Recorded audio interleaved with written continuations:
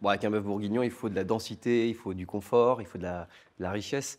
Euh, c'est le plat de famille par essence euh, où on a envie de, saucer euh, à la fin avec du pain. Il faut, il faut de la sauce, mais les sauces, ça appelle des vins de, concentration. Alors, en côte chalonnaise, la cave de Millebuis, il y a, ce, ce clos juste. C'est une parcelle assez à part. Je trouve que dans la partition de- des, grands vins de Givry, on rentre dans la terre, dans la profondeur, les argiles sont rouges.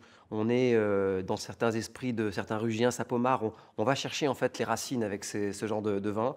Et puis euh, ça décuple le fruit, cette intensité juteuse sur la cerise noire, la burla, le noyau est décuplée et tout en étant bien sûr très harmonieux et fin. Donc on a un vin qui est complexe au service bien sûr de la richesse de goût du plat, mais surtout qui épouse parfaitement la sauce. C'est la sauce qui fait l'accord mets et souvent dans un plat, et en face d'une sauce concentrée et corsée comme celle du, bœuf bourguignon, il faut au moins un clos.